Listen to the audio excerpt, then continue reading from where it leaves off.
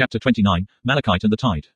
Erin stepped through the gateway with the others, her breath fogging in the chill of China's morning air. The horizon was just glowing with the rising sun, which seemed a little surreal to her, considering it was evening back in Colorado. She shook her head, thinking that humans weren't really meant to be able to traverse the globe quite so quickly. Once again, they were on a small hill overlooking the tide in the distance. Celestia and Luna, standing side by side, were regarding the tide with matching somber expressions. Erin glanced sidelong at Celestia, wondering how the princess felt coming back to face the thing that had once hurt her so badly. She reflected with a fluttering anxiety that she'd have a chance to find out how that felt for herself, once Malachite showed up. There is something strange, Luna said. A song. No, not a song. A series of rapid tones, continuously repeating, coming from the tide. It is quite eerie. Do you have any idea what it may be? Celestia asked her, and Luna shook her head. Nay, sister.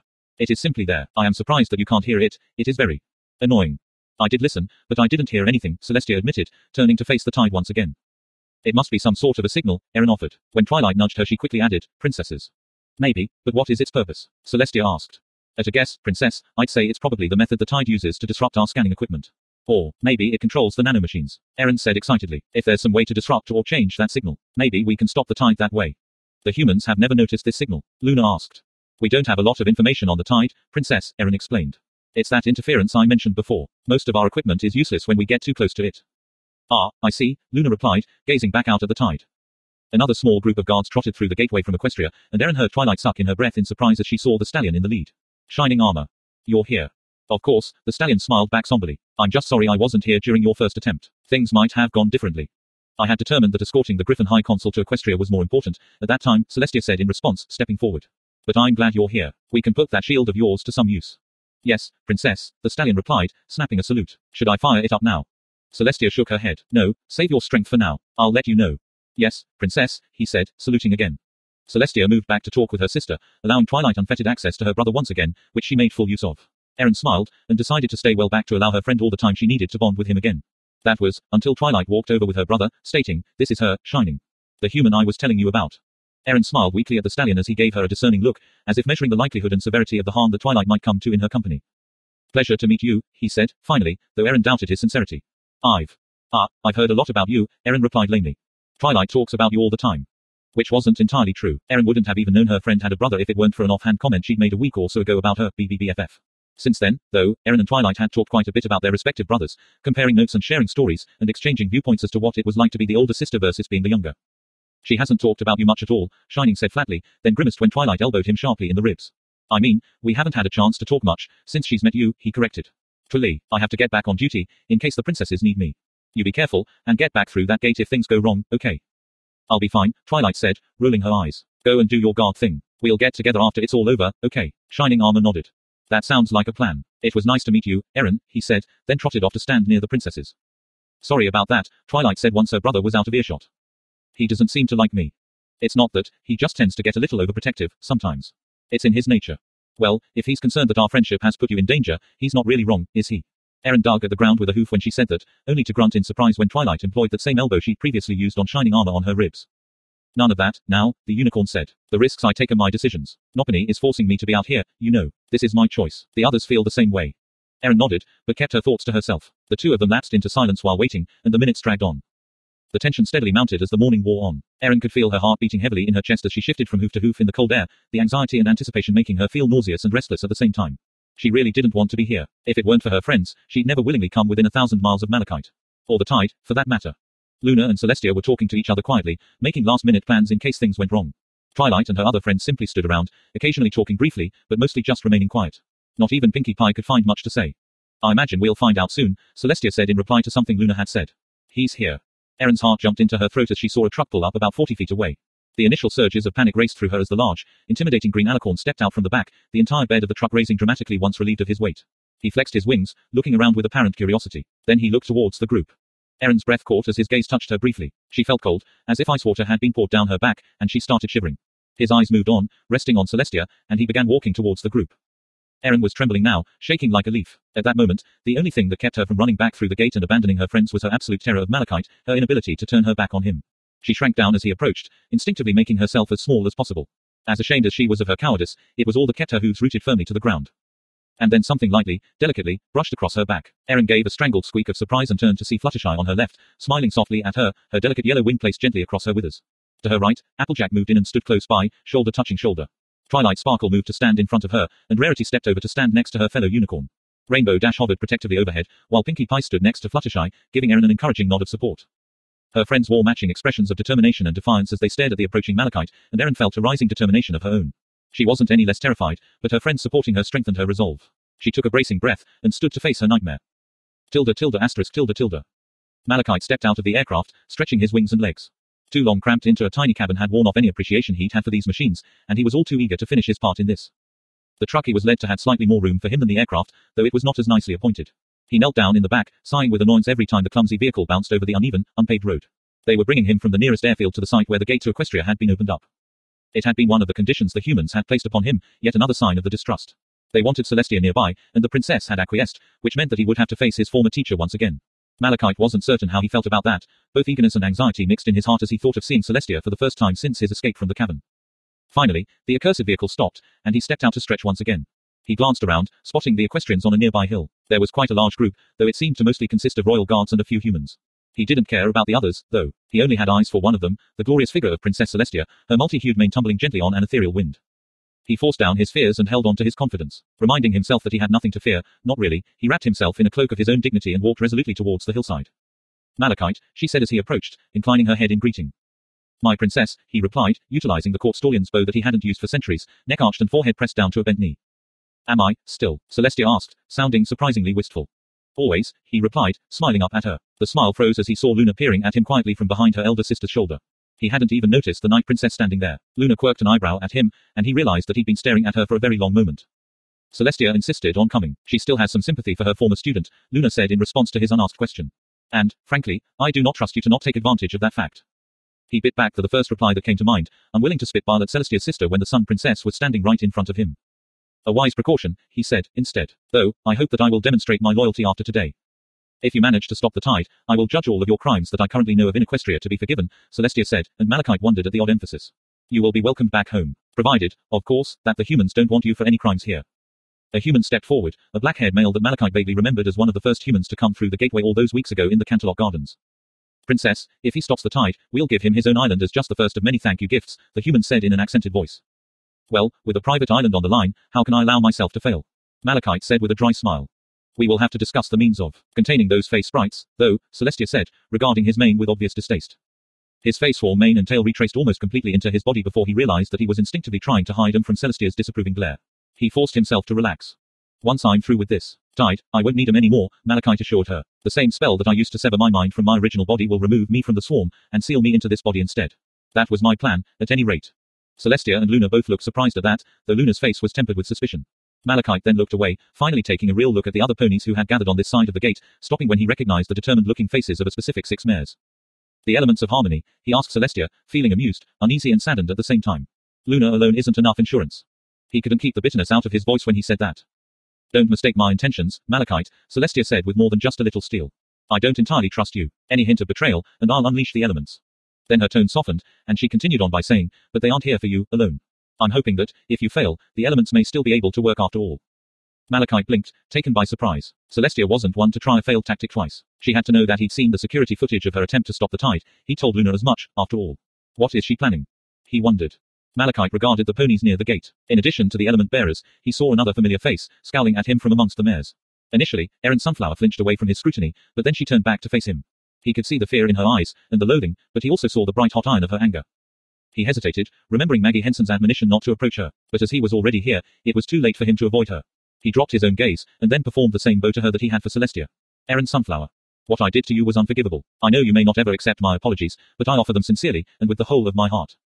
He maintained the bow while Erin struggled to find a reply. Finally, she spoke to him, in a low voice that he might not have caught if it weren't for his enhanced hearing. I still have nightmares about it, she said, quietly. He flinched, and looked up. The fear was gone from her eyes, now, but the hatred and anger were stronger than ever. I will never forget what you did, Malachite, she said, louder than before. No matter how you apologize, no matter what you say, what you did to me will never be all right. He sighed and began straightening up from his bow when Erin started speaking again.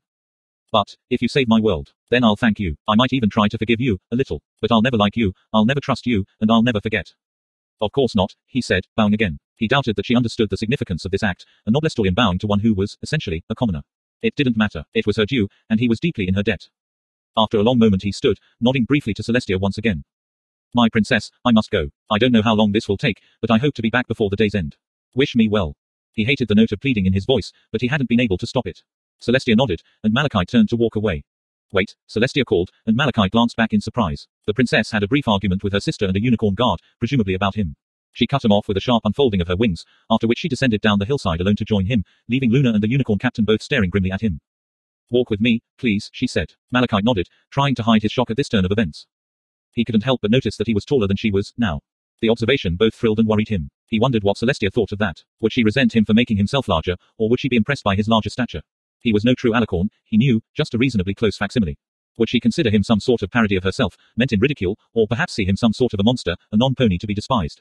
Or did she secretly admire his newfound strength? Did she, with her vast age and wisdom, consider him a child simply pretending to be a grown-up? Her face and demeanor gave him no clues. Luna detected some sort of tone, or signal, from the tide. I was not able to detect it myself, Celestia said, but perhaps that information will be useful to you. Thank you, Princess, Malachite said. He'd been expecting that, or something of the sort. In fact, his plan hinged on it. Once they'd gotten well out of earshot of the others, Celestia stopped. Malachite regarded her warily, and the princess looked back at him soberly. The human died, she said, finally. The. I'm sorry, Malachite said, confused. An old man was found dead in the woods after he and his wife had vanished from their homes in the dead of night. Malachite had no idea what she was talking about at first, and then his expression froze as he remembered his nighttime excursion. The two humans, the female pleading with the male to return home.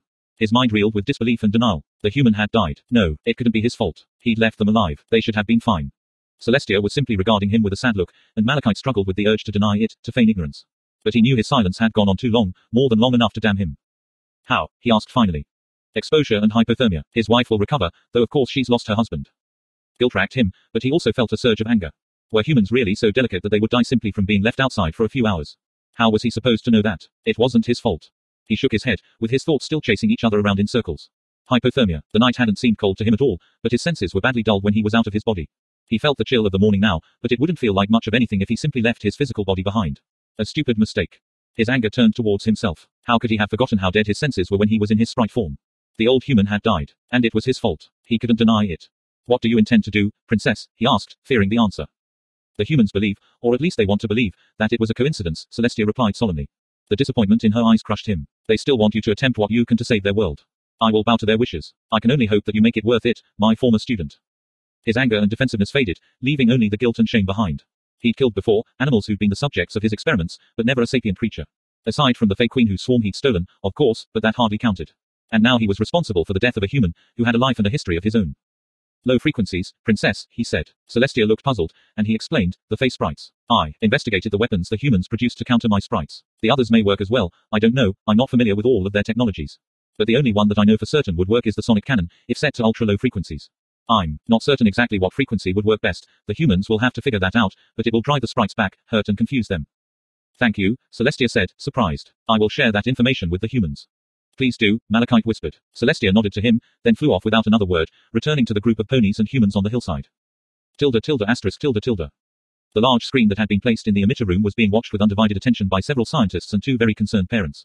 The screen itself was sectioned into several views, one of which showed the equestrians and Erin as they regarded the tide. Those princesses are impressive, Lin said, with a brittle casualness intended to hide her anxiety. I wish we could have met them in person. Me too, her husband replied. The married couple stared at the screen for a while longer, until Lin broke the silence once again. She seemed scared, she observed, squeezing John's hand. She could feel the tension in him, the desire to run off to stand by his child. She shared it, after all, but they had promised. I would be, too, John replied, knowing that she was in reference to Erin. Tense silence reigned again, until a large truck pulled up. Maggie clasped her hands together anxiously as Malachite stepped out of the back. Who's that guy? John asked. That is a guy pony, isn't it? Yes, Maggie replied. He's called Malachite, and he's a very different kind of pony. The humans watched as the large green alicorn approached and then started talking to the group from Equestria. At least he seems polite, Lin said as the stallion bowed before the princesses. Erin looks terrified of him, John noted with concern. He turned to Maggie and asked sharply, why? Maggie hesitated. It wasn't her place to tell Erin's parents how she was victimized by that creature, but in her opinion it wasn't healthy for Erin to keep it from them, either. She had tried suggesting a couple of times to the girl that she should talk to her folks about what had happened, only to be told by Erin that she didn't want to burden them with it. Maggie suspected that Erin was just trying to repress it, not wanting to deal with it, as if pretending could make it not have happened. She was torn between her motherly desire to tell a fellow parent what happened to their child, and respect for Erin's privacy and right to tell her parents on her own. She opted for a middle ground. Most ponies that we've encountered are kind, friendly and polite. Malachite is not exactly a pony. He's more of an eldritch abomination from Equestria's distant past. Erin is right to be afraid of him. We're having one abomination fight another. That sounds like a brilliant idea, John said with a heavy dose of sarcasm while Lynn looked at her questioningly. Is Erin in any danger from that guy? Not with the princesses there, no, Maggie replied, pretending to be absorbed in examining her tablet. She glanced up to see Lynn still staring at her. Dot. Lynn was giving her an extremely knowing look that was making her uncomfortable. Maggie glanced away again, and Lynn leaned over and whispered into her ear, too quietly for her husband to overhear. We'll talk about what that thing did to my daughter once she's out of danger, Erin's mother said in a voice that brooked no argument. Maggie's throat locked up, and she could only nod. Tilda tilde asterisk tilde tilde. The smell was atrocious, the chemicals burning his eyes and lungs. Though, from what he understood, that was from the humans' efforts to stem the tide on their own, and not the tide itself. He could smell something from the tide, a scent slightly reminiscent of damp soil, surprisingly mild when considering how enormous the tide was. Major Morris had met him near the edge of the tide, providing him with the gift of human technology. A simple headset which would allow him to record his findings for the humans for future study. Just in case the worst happens, and you can't get back to us, the Major said. It's also got a tracking device, in case we need to find you. It probably won't work, considering the interference from the tide, but having it won't hurt you. Thank you, Malachite said, dryly. It's good to know you have a backup plan in case of my demise. It's nothing personal, the Major said, looking slightly uncomfortable. We haven't really had a good chance to get information on this thing. No matter what else happens, we can't lose this opportunity. I understand, Malachite said. Malachite levitated the device up to his head where it fit surprisingly comfortably.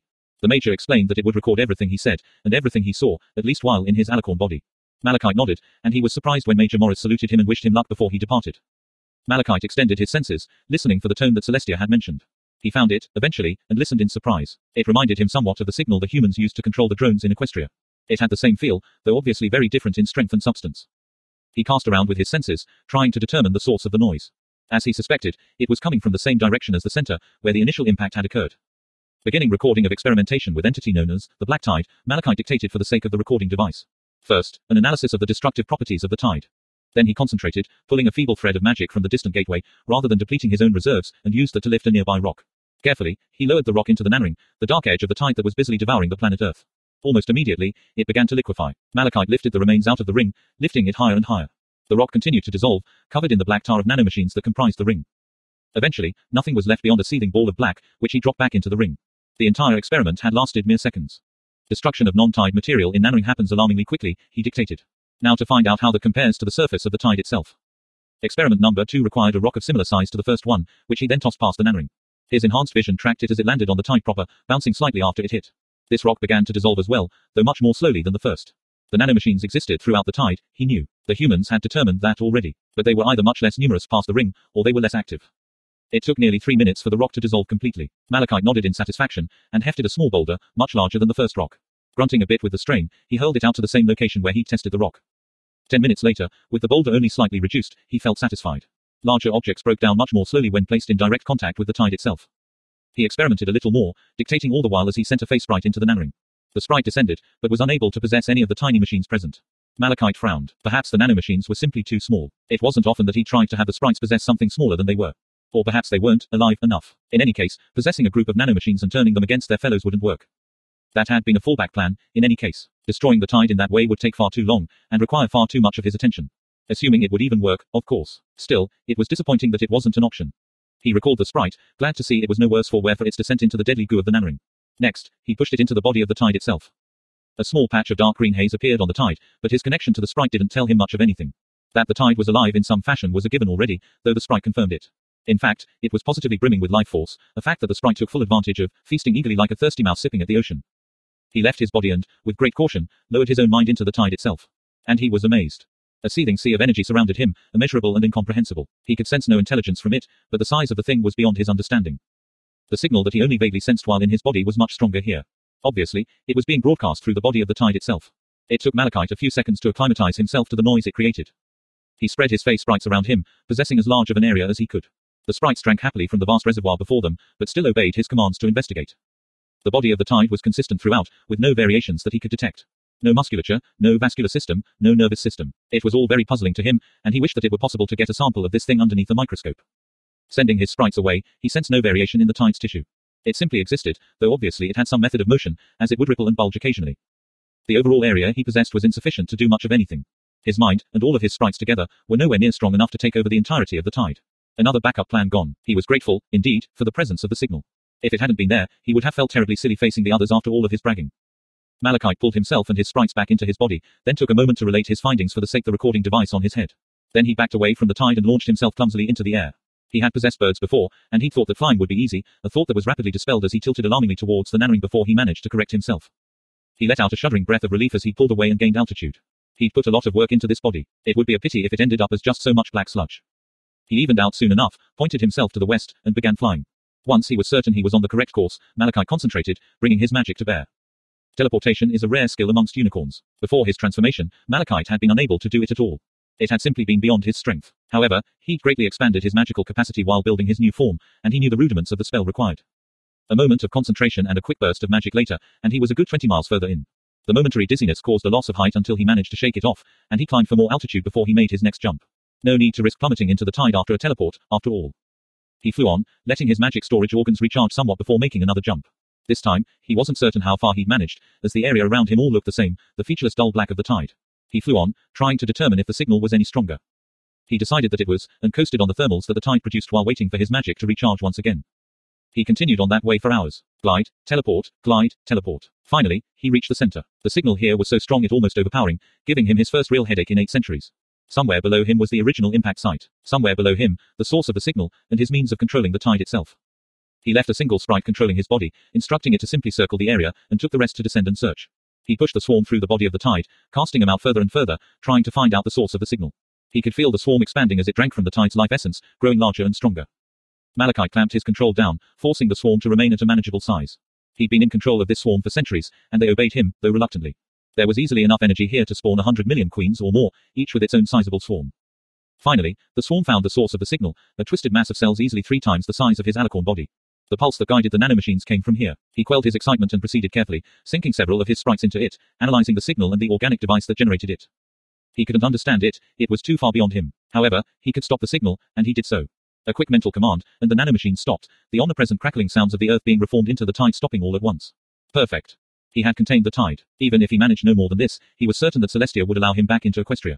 Still, his curiosity demanded more answers, and his pride wouldn't allow him to simply halt the expansion. He thought of Celestia's reaction if he managed to actually destroy this menace, and decided to press on. The swarm spread out, trying to determine the nature of this creature, seeking for answers. There were none. Malachite quickly grew frustrated, pouring more and more of his awareness into the center of the tide, leaving just the smallest tether back to his body. Nothing. There was nothing beyond what he'd already seen and sensed. He began to withdraw his mind back into his own body when, with a shock, he found that he could not. Something was holding him fast, pinning his mind. It had enveloped him without him even noticing. He expanded his gaze, trying to sense where the force holding him was coming from. What he found filled him with a cold terror the likes of which he'd never felt before. The mind of the tide pressed in all around him. He hadn't noticed it for the same reason that a fish didn't notice the water. It was simply the environment in which he moved, and it was too enormous to take in all at once. The tide had a mind and presence that stretched across the horizon, so enormous that he had less than the presence of a gnat before it. And, now, the tide was aware of him. It was as if the land itself, stretching from horizon to horizon, had suddenly reared up, alive and aware, and opened an eye ten leagues wide to look at him. Terror gripped him and he tried to flee, to pull his mind back into his alicorn body, but the mind of the tide held him firmly. He felt his consciousness being examined, not with curiosity, but with a systematic and clinical detachment. No. He screamed silently, struggling furiously, desperate to get away. He sent a command to the fey sprites he'd left in the signal source, trying to activate the inverse of the signal from before, hoping that doing so would instruct the nanomachines to work their way inwards rather than out. The tide stopped the sprites, studying them with the same passionless attention with which it had examined him. At the same time, Malachite felt his memories of the sprites, their capabilities and weaknesses, being examined by the entity that held him. Then, with no apparent effort, the tide stripped the swarm away from him, absorbing them all, taking the willing swarm into itself. The signal started again, and the nanomachines once again began to devour the earth. His alicorn body, stripped of the sprite controlling it, fell on top of the tide and immediately began slowly dissolving.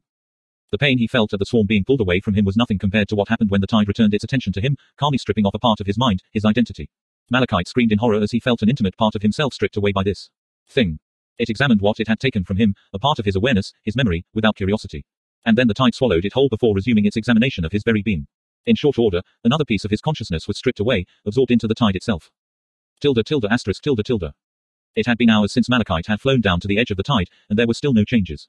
Celestia didn't fidget like the others, but she did worry. Malachite's departure had at least dispelled some of the tension from earlier in the morning. The ponies had passed the time chatting amiably, keeping the conversation light and avoiding the subject of the tide and whether or not Malachite would betray them, though the princess was certain it was on every pony's mind. Erin had brought out her tablet and was showing her friends various videos and games found on the internet. Celestia was glad for the distraction, watching a few of the videos herself. Quite suddenly, so suddenly that it was startling, the noise of the nanomachine stopped. The unexpected silence was surreal. The ponies looked at each other warily. Had Malachite done it? Had he managed to shut down the tide? Minutes stretched by. Only centuries of self-imposed training kept Celestia from shifting nervously from hoof to hoof, like many of the others were. Princess, look, Twilight said, pointing. The signature dark green haze of Malachite's possession had suddenly started forming above the tide, spreading quickly across the surface. Celestia braced herself. If Malachite was to betray them, it would likely be soon. Shining Armor apparently agreed, as the fuchsia dome of his shield spell enveloped the hillside and the surrounding area, covering as many of the human workers nearby as the captain was able to reach. Be careful, girls. Be ready to use the elements. All pretense of casualness was gone as the bearers of the elements took up position near the princess. Minutes passed with nothing happening. And then, as unexpectedly as the nanomachines had stopped, they started again, once again filling the air with the crackling sounds of the earth being consumed. Celestia frowned. Had Malachite failed? Or, had he betrayed them? She thought she knew the answer once the familiar green lights of the fey sprites rose above the tide. Millions upon millions of them, blinking ominously, with more appearing every second. And then the sprites rushed outwards, towards the humans and ponies around the border of the tide. People and ponies screamed in horror as the sprites drew near, and Celestia cursed in a language that had been dead for centuries. She'd been a fool to trust him. Sister, Luna cried in warning, as the tide psychic attack slammed down upon them. Shining Armor grunted and fell to his knees as his shield buckled, then shattered. The mind that had attacked was familiar to her, and Celestia was struck with the realization that it wasn't Malachite who was attacking them. The tide was still very much in control of itself. Perhaps it somehow controlled the sprites, as well. The captain staggered upwards and began casting his spell once again, just in time to catch a second assault as it happened. The shield broke again, and this time Shining Armor shouted in pain as he fell, his sister's cries of concern echoing across the hillside. The unicorns amongst her royal guards were repeatedly casting the spell to destroy the sprites, but it was a losing battle. There were simply too many to be stopped. The entire field below them was blanketed with sprites swarming towards them, and the open gateway behind her. Tilda tilde asterisk tilde tilde. What the hell is that? John Olson shouted in alarm at the video coming through the screen. The entirety of the black tide was blanketed in a dark haze, with lights like sickly fireflies blinking and shifting through the shadows. Fey sprites, Maggie said, horrified. There were so many, so many. Even with the news of how to repel them, there were more than enough to doom humanity.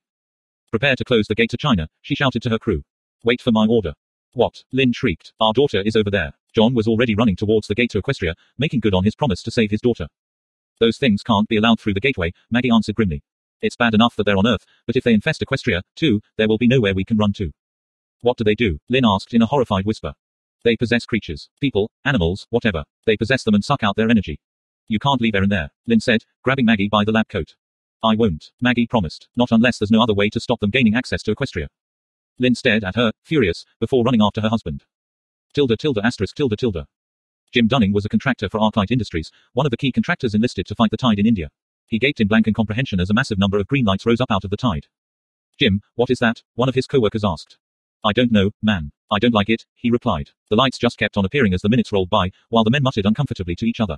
A few started making their way hastily away from the tide, and Jim decided that wasn't at all a bad idea. He arrived at his decision far too late. The lights moved towards him at an alarming speed, and the men around him screamed in startled terror. James was vaguely aware that he was screaming as well as he tried desperately to scramble away from the blinking green cloud swarming him. He flailed his arms instinctively, ineffectively. There were just too many. All he could do was run. He slammed into a friend of his, Charlie Mackenzie, who was standing ramrod straight and ignoring the green lights around him. Charlie. Move, man. What the hell is? Jimmy broke off as what looked like black smoke erupted from the man before him. He stumbled back in shocked horror from the apparently burning man, who stood there as if oblivious to what was happening to him. And then, one of the green lights sank into Jim's own skull.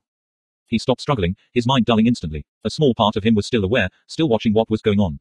He sensed an awareness scrutinizing him, and he felt himself examined, pinned down by the alien mind like an amoeba under a microscope. There wasn't a voice, so much as an awareness of intent. Jimmy's mind translated it into words that he could understand. Classification, human. Identity, James Walter Dunning. Age, 12,411 days. Cataloging data. What part of his mind was still aware of what was happening to him screamed in utter revulsion at what happened next, as his entire life began playing out before him. He was aware of that awareness watching, with a cold and calculating eye, as it recorded everything as if it had some right to his innermost thoughts. He couldn't fight it. There was no way to even begin. And then, just before he gave up hope, the world exploded with a brilliant white light. Tilda tilde asterisk tilde tilde. Girls. The elements of harmony, now. The six friends nodded, and focused. A moment later, a light appeared over the field, and the rainbow of harmony struck the tide, washing over it once again. Celestia felt her heart clench, certain that Malachite was either dead or dying. If the tide hadn't killed him, there was a good chance that the elements would do so. As before, the rainbow spread out, following the tide across the horizon. More and more energy poured from Twilight and her friends, considerably more than Celestia had ever seen the elements produce before. Fear gripped her as she realized that the elements would quickly consume the magic that Twilight and her friends had stored, leaving the job unfinished, even with the gateway to Equestria directly behind them and feeding them energy. Luna, she said, gather your strength, and deliver it to the bearers. Her sister nodded, focusing her power. Celestia did the same, and the rainbow of harmony increased in intensity and speed as it spread across the surface of the tide. Later on, the humans would show her the satellite images of what they'd accomplished.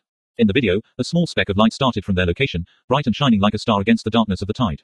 Then it spread, slowly at first but with increasing speed. Within minutes, the entirety of the black tide was enveloped prismatic aurora of shifting lights, which danced and played over the surface of the earth. It was an eerie and oddly beautiful sight. Tilda tilde asterisk tilde tilde. The phase swarm expanded rapidly, consuming the life force of the tide greedily, and yet not even making a dent in the overall energy present there. Every few seconds, their numbers would double, as the sprites drank as quickly as they could manage from the life force before them. When Malachite had controlled the swarm, his greater intellect and will had allowed him to control a swarm that had been several times larger than even the strongest of the Fey Queens. The swarm that the tide could produce would be enormous, enough to blanket the earth and Equestria combined. Malachite wasn't concerned with that, not because it was unimportant, but because there was precious little of him left, the butchered remains of his mind floating in the tide like a grain of rice in the ocean. The tide had taken nearly everything from him, his memories, his intellect, nearly all of his understanding. All that remained was a spark, the very center of his soul. He was only dimly aware of the power of the elements racing across the surface and infusing itself into the organism beneath it. And he was only aware of that because of the confusion that the tide experienced. What remained of his ravaged consciousness felt a grim satisfaction as the mental presence of the tide receded under the rainbow wave of light. The tide released its grip on him, and some vestige of instinct caused him to move his mind back into the ravaged body of the green alicorn slowly dissolving on top of the tide. He nestled in his former body for whatever comfort it could give him. The tide was trying to analyze the situation. It knew it was under assault, but it didn't understand the origin or the cause. All it knew was that something strange and powerful was streaking along its surface it, changing it as it went. Almost at the last moment, the tide sundered itself from the fey swarm it had just consumed, somehow understanding that it was the swarm that made it vulnerable. The sprites, bereft of any controlling mind, shriveled and died under the rainbow light of harmony. Malachite felt the light of the elements wash over him, as well. Unlike his last experience, the light was warm, rather than burning. Comforting, rather than harsh. He gave himself up to it with a sense of relief. It almost felt like he was coming home, at last. Tilda tilde asterisk tilde tilde. Exhausted, Celestia fell to her knees, and was aware of her sister and the bearers doing the same. The only one on their hooves were her guards, busily buzzing around her and Luna, and Erin, who was checking on her friends. Erin's father, much to Celestia's surprise, was hovering behind his daughter, apparently trying to urge her back through the gateway, but Erin was waving him off, insisting on staying with her friends. Dimly, she became aware of the cheering from the humans. Those who remained conscious, at least. She regarded the immobile stone that had once been the tide with a feeling far beyond loathing. It was likely that Malachite hadn't betrayed them, after all. But if Malachite had still been alive before the elements were used, then it was likely that this thing had just forced her to destroy her former student. She staggered to her hooves, the proximity of the gateway to Equestria helping to restore her power. Luna was already standing, and moved to stand by her side. Is it over? Luna asked. Is it done? I can't be certain, Celestia replied. It seems that it might be. Princess, Erin said, her voice sounding shaken. Celestia looked at her and saw fear in her eyes. Twilight and the others, they aren't waking up. Celestia and Luna both moved quickly to check on them, and Celestia breathed a sigh of relief when she determined the cause of their unconsciousness. They will be fine, she assured the near frantic human. The elements demanded a lot out of them, and they simply need lots of rest to recover. Celestia noticed that Shining Armor was groggily staggering up to his hooves.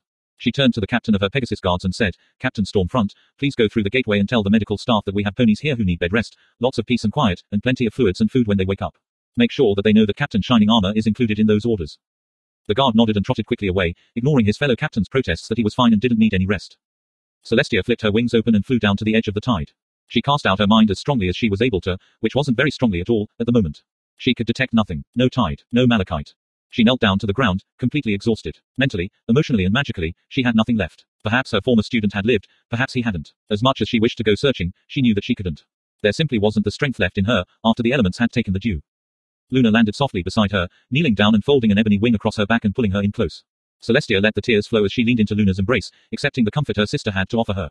Minutes passed before she felt strong enough to stand again. Luna stood with her, not asking questions, simply being there for her. It was enough, for now. Celestia walked to the border of the tide, now featureless grey stone. The Nanoring itself was a smoothly frozen black mass, fossilized by the power of the elements.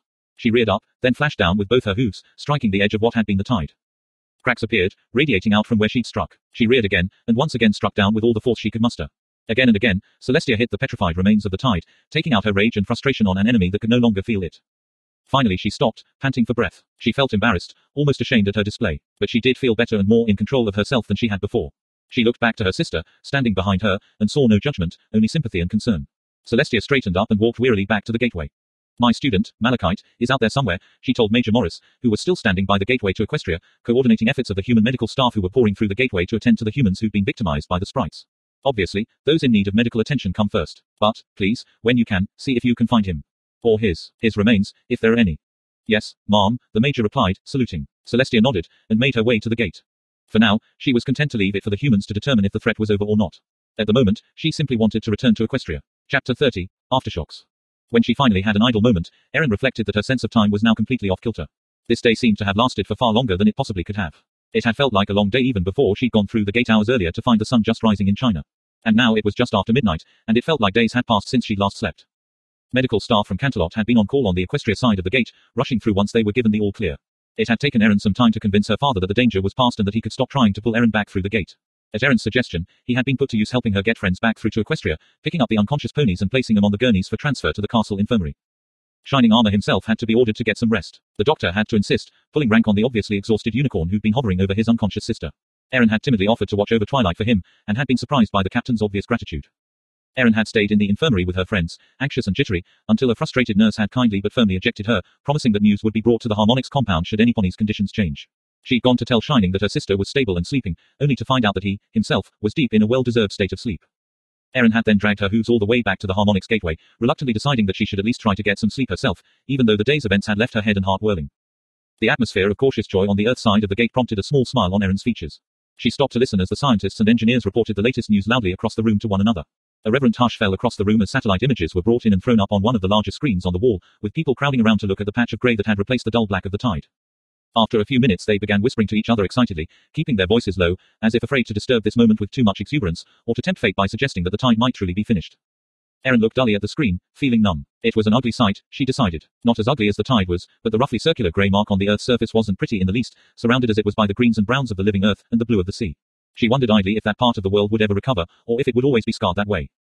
She wandered away, jaw cracking as she yawned, realizing that she didn't know what had happened to her parents. The last she could recall seeing of them was in the Canterlot Infirmary, but she now realized that she hadn't actually seen them for an hour, at least. She decided to forgive herself for not paying attention, since she'd been a little preoccupied by the fact that her friends weren't waking up. That, and other things that she preferred not to think about. Erin stumbled her way back to her room, deciding that she was both hungry and too tired to bother eating anything before bed. She felt like she should be happier than she was, but her mind felt muffled and indistinct, and the possibility of the tide's destruction seemed too unreal to accept right now. She was more than half certain they'd find out that the rock they saw was just a thin shell, that the tide was still growing underneath, as deadly and implacable as ever. The possibility of the tide being gone was a concept that was so incredibly huge that the impact on her life wasn't something that she could even begin to wrap her head around at the moment. That her friends had so completely exhausted and endangered themselves for her planet's sake made her feel both proud of them and incredibly guilty that they had taken such a huge risk. And as for Malachite, she shook her head, deciding that she was too tired to think about that now. Sleep first, worry in the morning. She was nearing the corner to her room in the Harmonics compound when a pair of familiar voices stopped her in her tracks. Her parents were outside her room once again, sitting on the floor by the doorway. Erin smiled and trotted around the corner. Mom, Dad, hi, she said, glad to see them, even though all she wanted to do was sleep. It seems like the tide might be gone, isn't that amazing? Hi, sweetie, her mother said, standing up. Erin froze as her parents shared a look. Something was up, and she wasn't sure if she had the energy to deal with it right at that moment. Can we come in? her father asked, gesturing at the door. Well, I was thinking of getting some sleep. Erin trailed off, seeing that her parents wouldn't be deterred. Sure, she said with a sigh, walking up and opening her door. Come on in. Everyone entered her main room, and Erin immediately picked up on the awkward atmosphere. A small ember of annoyance started to flare up. She was burned out, at the moment. After going through the chaos of the shopping trip, the encounter with Malachite, her friends being unconscious and everything that had happened with the tide, she felt tapped out, running on empty. She decided to simply get to the point. So, what's going on? she asked bluntly. Ah. Well, first of all, are you alright? Lynn asked hesitantly. We saw those glowing, sprite things. They didn't hurt you, did they? No, Erin replied with a wan smile. My friends were able to take them out before they got close enough to threaten me. Those sprites, her father said slowly. They were from that thing called Malachite, right? Ah, Erin trailed off. They knew something, she could see it in their faces. Erin's eyes narrowed, and she almost screamed with frustration. What did Maggie tell you? she asked, far more harshly than she'd intended. Maggie didn't tell us anything, Lynn replied calmly. She told us what those sprites were and what they could do. She refused to tell us anything else, but we were able to draw some conclusions when we saw how terrified you were of him. I wasn't scared of him, Erin lied. We saw the video, honey, John said, shaking his head. You were more frightened than I've ever seen you before. Erin looked away, glaring at the corner of her bed. Her eyes felt hot, and she wondered angrily why her parents couldn't just leave well enough alone, let her get the sleep she needed. She pressed her lips together in a frown and didn't say a thing. Look, Lynn put a hand on her shoulder, and Erin nearly jerked away from her. Erin, you don't have to talk about it right now, if you don't want to. Nothing to talk about, Erin replied. We don't believe that, Lynn said, stroking her daughter's mane. Look, I know you're tired. We don't have to talk about it tonight, okay? We just want you to know that we'll always love you, and that, whatever happened, it won't change that. You can rest now, and we can talk about it later, all right? Why? Erin asked loudly, stomping her hoof. Why can't you just let it be? Now is not the time, Twilight and the others. We'll be fine, Lynn said. You know that as well as I do. Nothing happened to me, Erin repeated the lie. Nothing. Burning pain in her limbs, her skin torn and bleeding, aching hooves cracked and bleeding as well, rocks and debris wedged tightly into them, causing a jolt of agony up her leg every time a hoof hit the forest floor. A voice in her ear that she couldn't shut out, and the absolute terror of not being able to control her own body. Erin slumped to the floor, holding onto her emotions through an effort of will. Why are you making me remember this again? she whispered. Her mother rushed to her side, hugging her around the neck, and that was the key that unlocked the floodgates. Erin cried like a baby in her mother's arms, and the stricken look on her father's face made her cry even harder, thinking of how her pain had now hurt him, as well. It took half an hour for her to calm down enough for her to finally be able to tell her parents everything. It hurt, at first. It hurt to remember again, and it hurt even more to tell them, to see their reactions to what had happened to her. But the more she talked, the faster the details came, until she was spilling them out one after the other. She told them about Malachite, and running through the Everfree. She told them about Paul Velchik's betrayal, his manipulation with mood-altering drugs and a remote control he'd snuck into the design of her body. Through it all, her parents urged her to go on, to continue, comforting her all the while. She could see the horror on their faces at times, the anger and sadness. She tried to stop only to have them give her nudge after nudge, until everything came out. It felt like she was draining an infection, and it hurt, but it also lightened her burdens. And now, Malachite is probably dead, Erin said eventually, getting to the root of what had been bothering her the most this night, what she'd been trying her hardest not to think about. According to the rumors she'd heard from the medical staff in the infirmary, that's what Celestia now believed. So many times I wished something would happen to him, Erin continued shakily. He would get caught by the princesses and locked away, or he'd get crippled in a fight with the guards, or something. I was hoping the tide would hurt him, when he left to go fight it, she admitted with shame, then looked up at her parents, almost expecting to see revulsion in their eyes and mildly surprised to see only sympathy instead. He went to try and save our world, and now he's dead, and I hated him so much. Erin was crying again, though not as hysterically as before. These were tears of guilt and regret as she lay on her bed with her mother sitting next to her and stroking her mane. Her father sat on her other side, rubbing her back and trying to be comforting. I should have told him that I accepted his apology, that he was forgiven. Was he? John asked. Did you forgive him? No, she admitted reluctantly. Then you did the right thing, he said firmly. Even if it turned out this way, you did the right thing. Erin nodded mutely. Intellectually, she knew her father was right, but there was still that guilt, sitting like a cold lump of iron in her chest.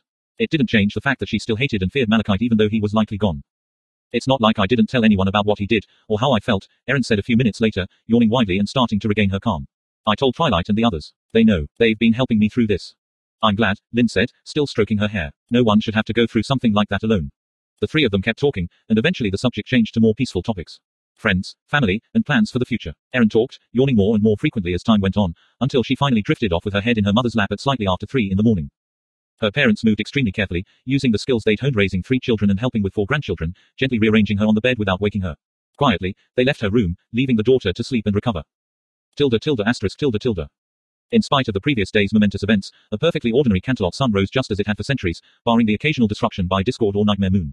It rose on its stately course through the sky, and was a few minutes before the noon position when the sober and dignified air of the halls and corridors of Canterlot Castle were disrupted by the sound of pounding hooves.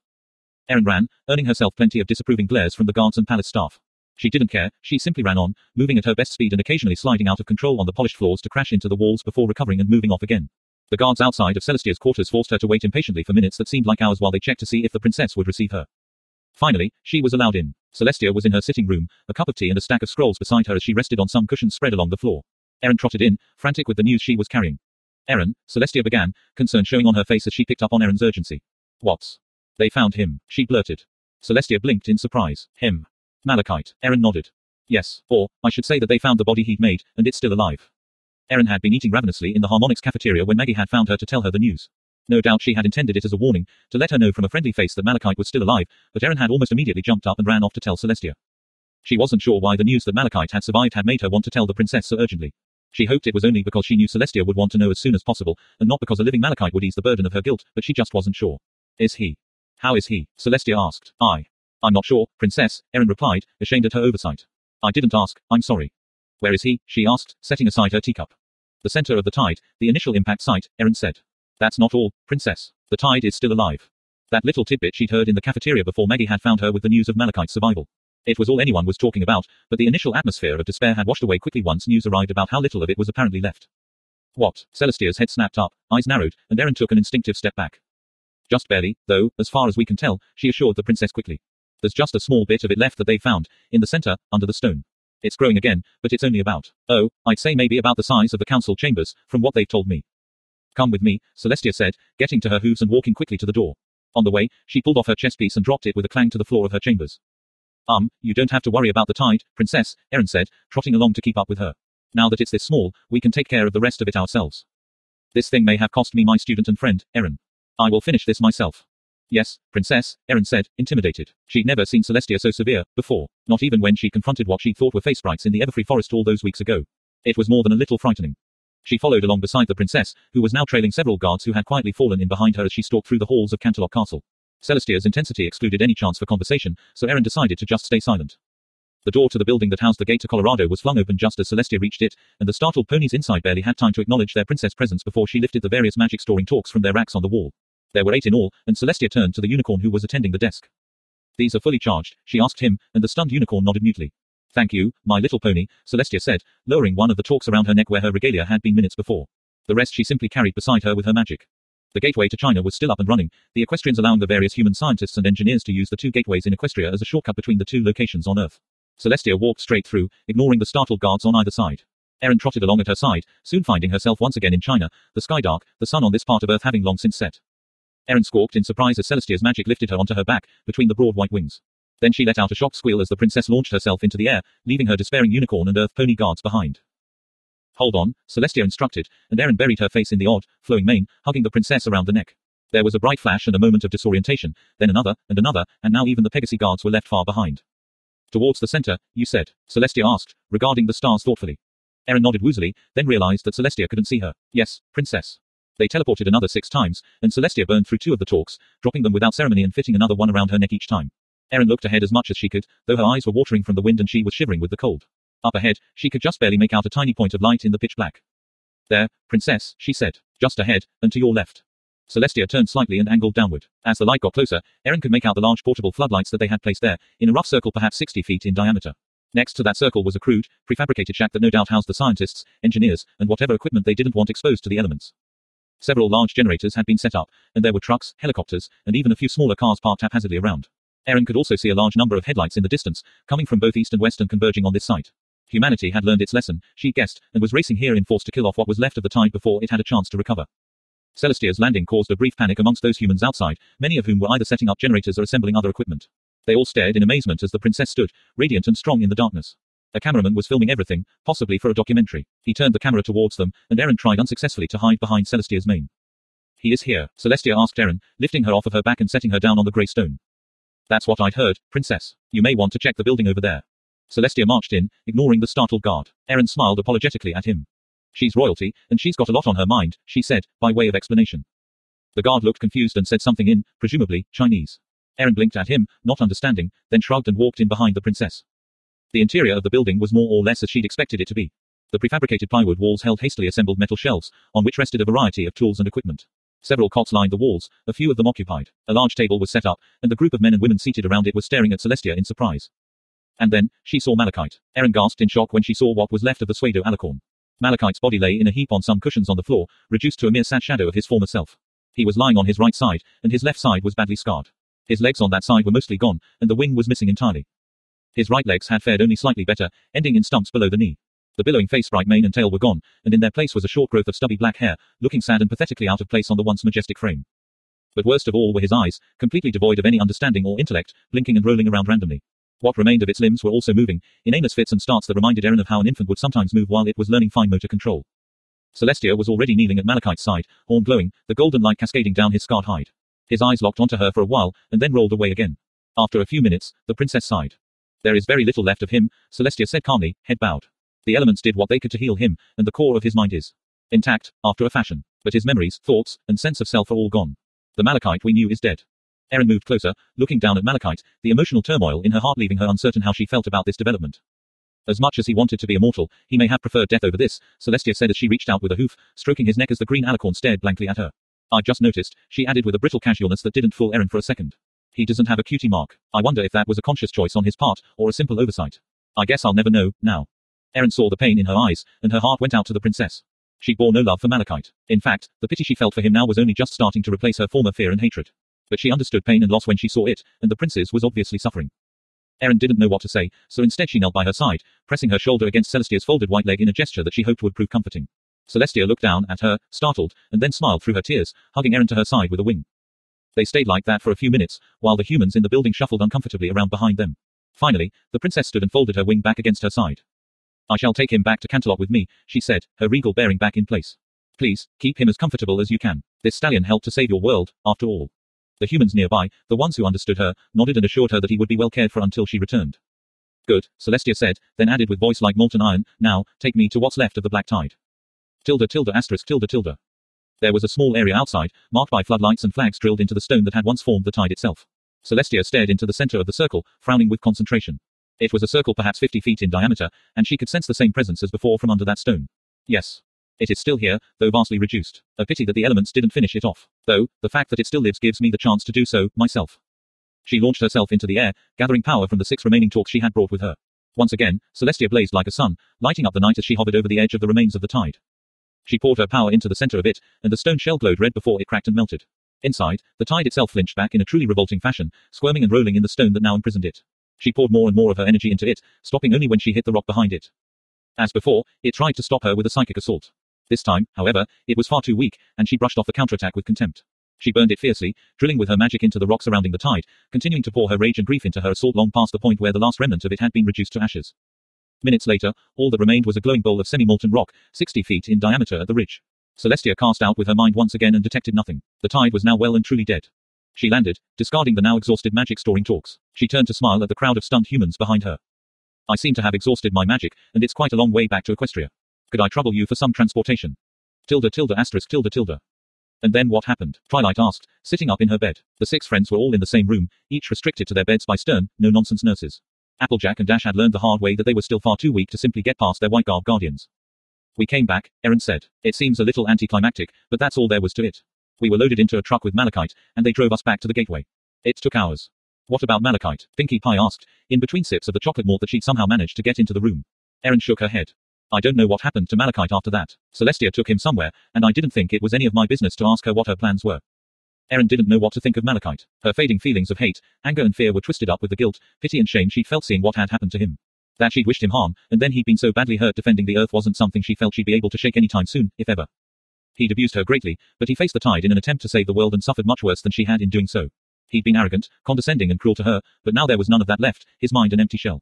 And, in the end, his sacrifice had saved the Earth, though his arrogance had almost doomed it at the same time. Her feelings couldn't settle down, swirling around in a big mess in her chest. She pushed the thoughts aside, deciding to concentrate on her friends, instead. So, when do you guys think you'll be getting out of here? She asked, forcing a smile. We've got less than a week before my mom forces Thanksgiving on you guys. You're still all planning on coming, right? Sure, Pinkie said, putting the empty malt glass aside. I'd never miss my first human party. Well, it's not really a party, so much as a holiday gathering, Erin clarified. It's a time to get together with friends and family, to talk and eat and think about all the things you're grateful for. Sounds lovely, Rarity said. I'd love to come. The others quickly reaffirmed the desire to go. It's too bad the rest of my family can't come, too. I think my nieces would love to meet you guys, Erin said with a more genuine smile, imagining the little girl's reactions to the ponies. You should ask Maggie if she can bring, M. Applejack said. Nothing more important than family. What about friends? Dash asked jokingly. That's family, AJ asserted. Erin let her friends bicker for a little while, feeling better just by being near them.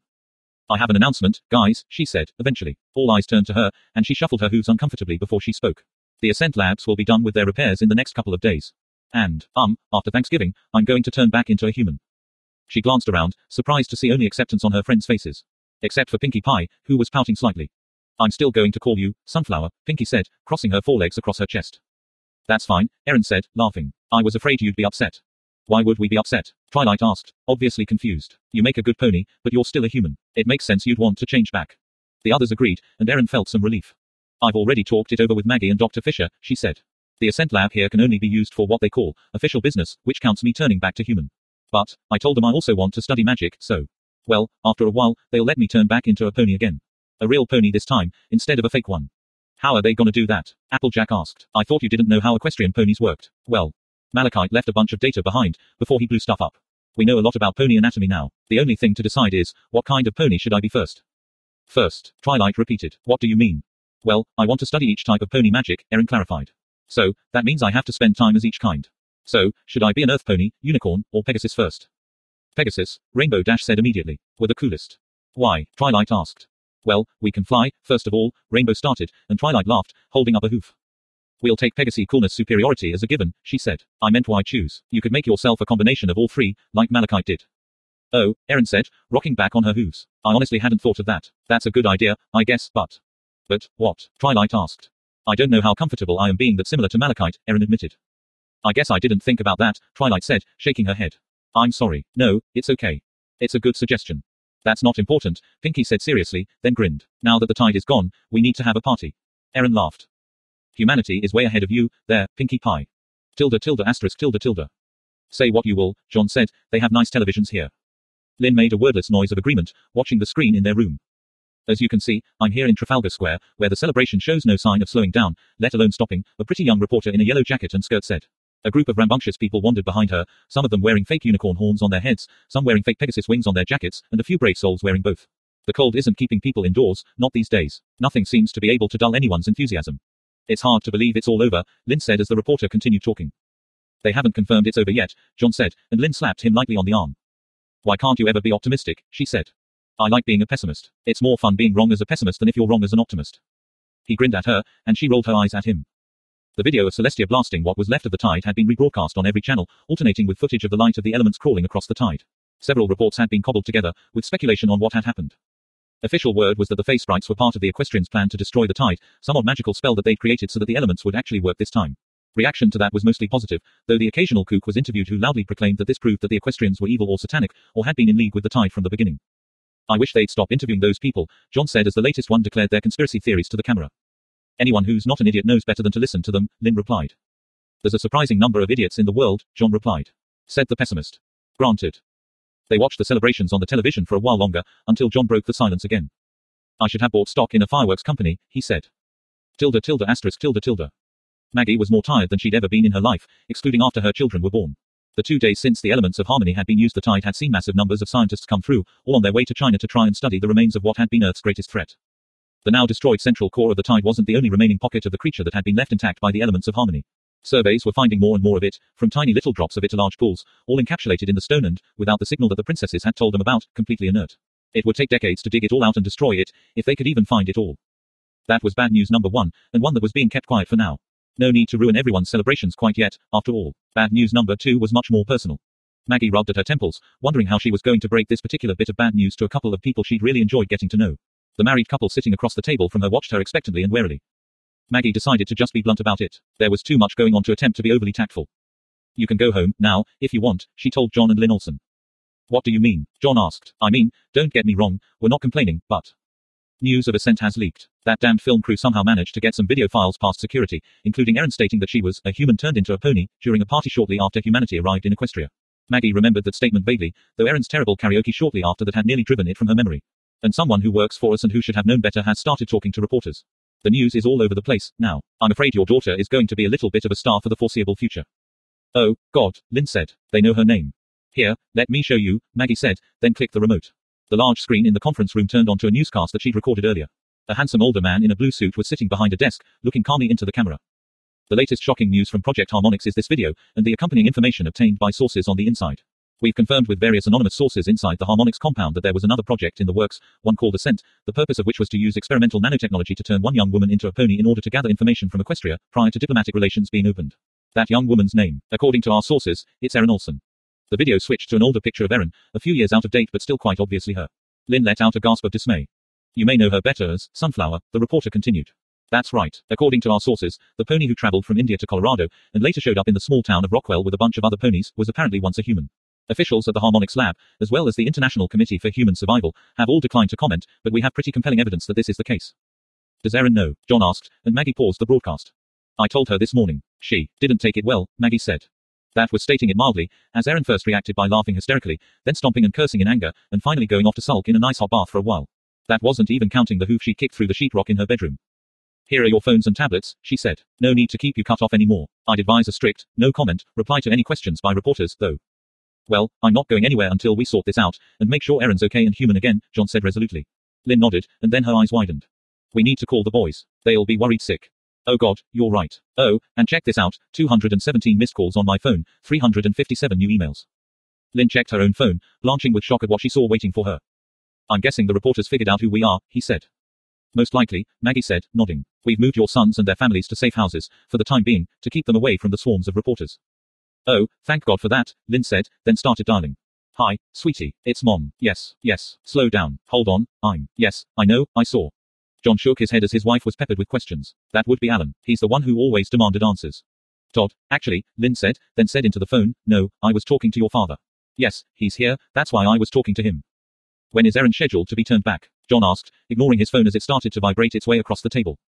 The lab will be up and running in two days. Another day to test and shake things down, and then Erin can go in whenever she's ready. Ah, good, John said. How long will it take to turn her back? About a week, maybe ten days, Maggie replied. Hold on, dear, I've got to talk to someone, Lynn said into her phone before turning to Maggie. That's not acceptable, she'll miss Thanksgiving. Hon, John started, but Lynn shook her head. No, John.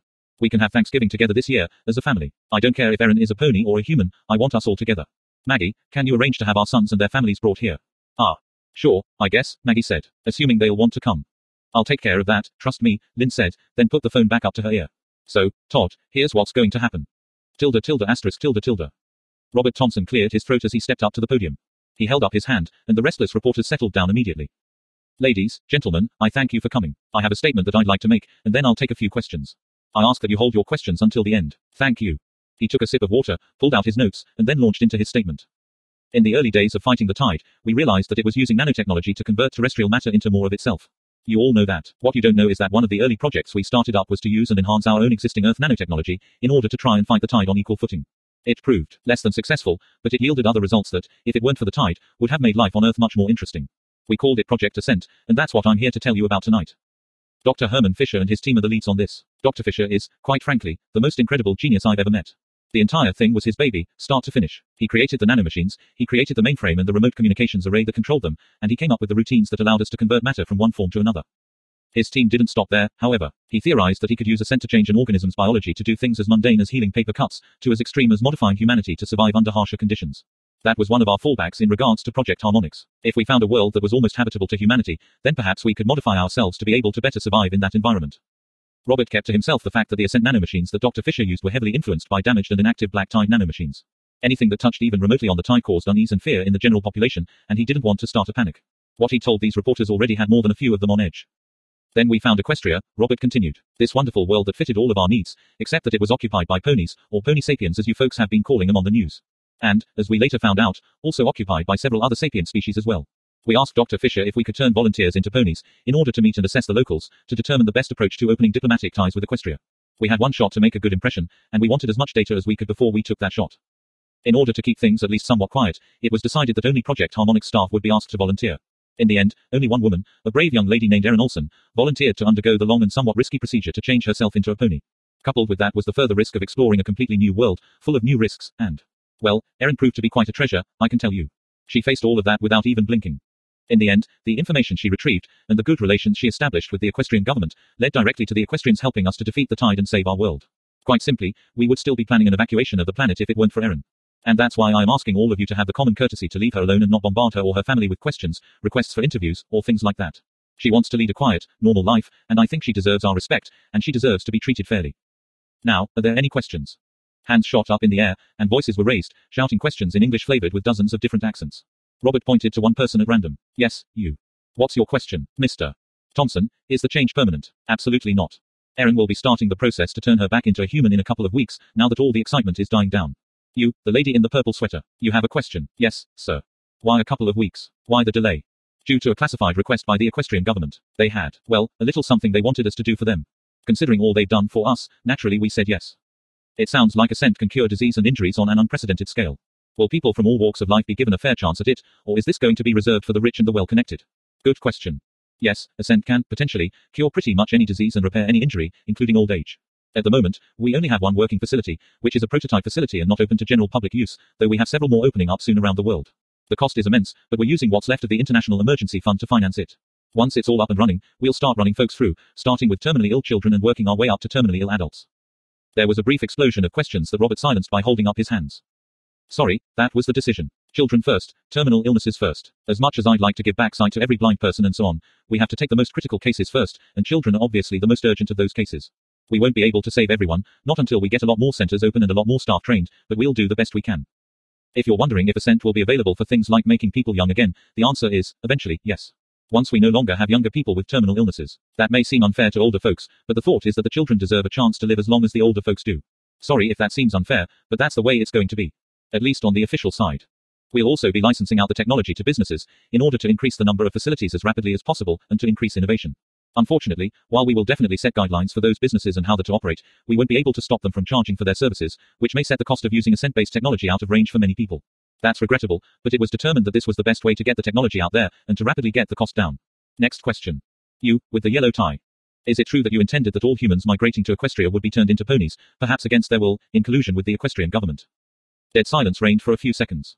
What the hell are you talking about? Robert asked, incredulous. Are you insane? Where in the world did you get that idea? Even if we wanted to, we don't have the resources to turn 7 billion humans into ponies. You, in the grey suit, you're up. Thank you, sir. If we manage to open enough ascent centers that we can actually keep people eternally young, doesn't that mean we'll have a population boom? What are the plans to deal with that excess population? Good question. We're still going ahead with the plans to settle in Zanabra, though we've offered to buy the land directly from the zebras ourselves, relieving the equestrians of the necessity of trading their own land for it. We're still in negotiations on a final price. The equestrians are still offering assistance in getting the land more habitable for us, and now we can afford to take our time and really plan things out well.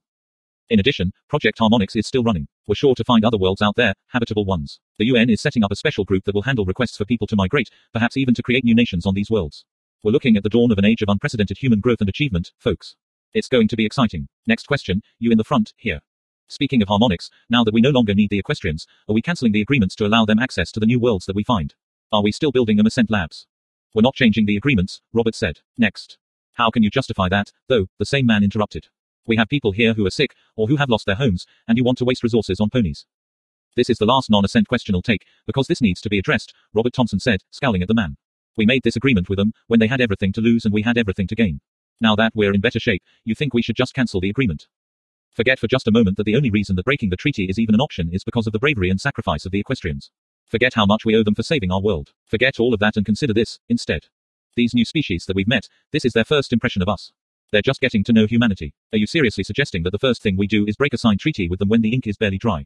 Have you so little shame? No, we're not going to do that. We are better than that. Now, I'm going to the next question, and if you continue disrupting this conference, you will be escorted out. The press conference went on for another half an hour after that, until Robert finally had enough and called an end to the questions. He went off stage and back into a small room, collapsing into a sofa with a sigh as his assistant came up and gave him a glass of water. Thanks, Becky, he said. Do me a favor, would you? Call Maggie Henson and see if Erin would be willing to hold a press conference or do an interview of her own, soon.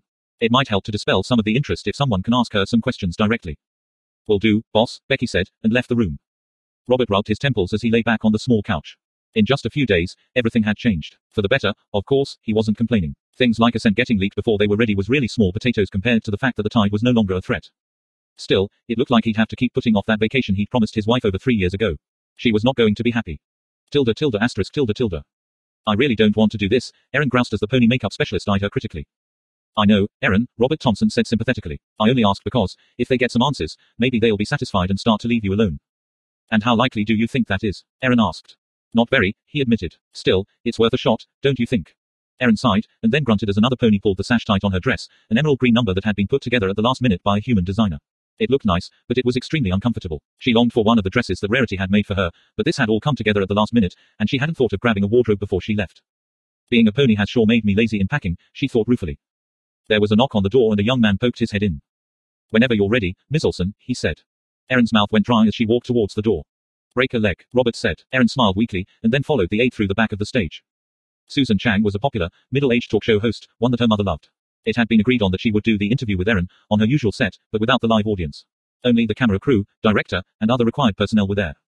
Erin walked out on stage without any kind of pomp or circumstance and smiled nervously at Susan Chang as the human woman knelt down on the stage and extended her hand.